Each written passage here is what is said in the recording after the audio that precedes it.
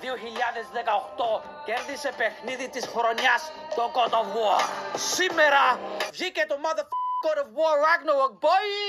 Πριν πάμε στο παιχνίδι όμως τώρα αυτή τη στιγμή σε αυτό το βίντεο τρέχει διαγωνισμός όπου τρία άτομα θα κερδίσουν τρία συλλεκτικά χειριστήρια God of War για το PlayStation 5. Ούτε εγώ δεν έχω. Γερμανός θα μου στείλετε και εμένα ένα please για να λάβεις μέρος στον διαγωνισμό. Όπως πάντα πρώτα πρέπει να είσαι subscribe εδώ στο Γερμανός GR YouTube κανάλι να συμπληρώσεις τη φόρμα συμμετοχής που υπάρχει κάτω στην περιγραφή και να γράψεις ένα σχόλιο εδώ κάτω στο βίντεο